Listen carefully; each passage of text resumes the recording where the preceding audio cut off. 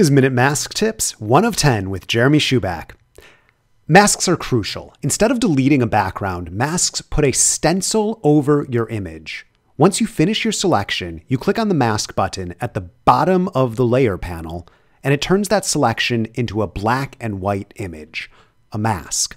Basically, anything you can do to a layer, you can do to this black and white image, this fancy stencil.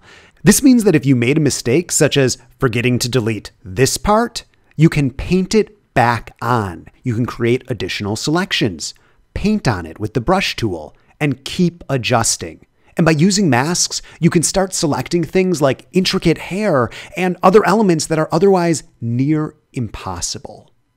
This is just a small clip from my larger class, How to Use Masks in Photoshop from Beginner to Expert in Less Than Two Hours. If you're interested, click the link below to sign up.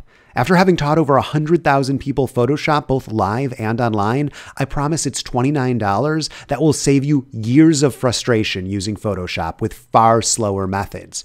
$29. That's less than a cup of coffee. I live in the Bay Area.